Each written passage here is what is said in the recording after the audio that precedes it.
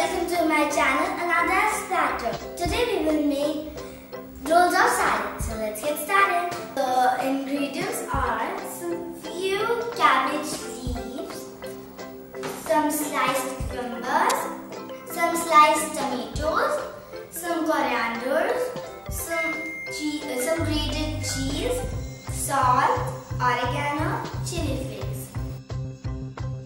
So first we'll take a cabbage leaf and then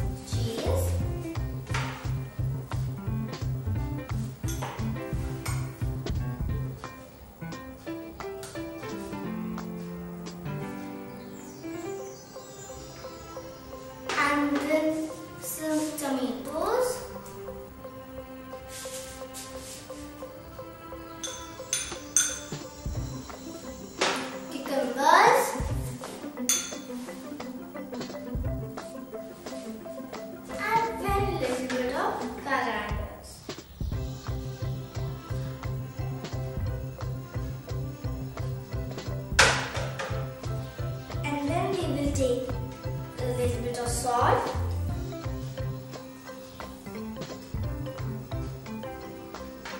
Oregano.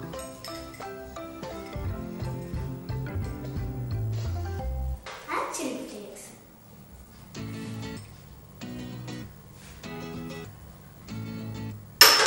And then we will lock it with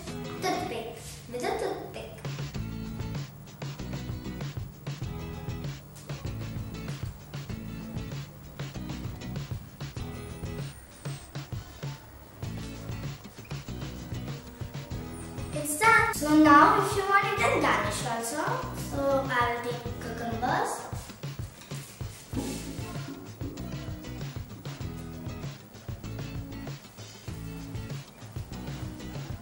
and coriander.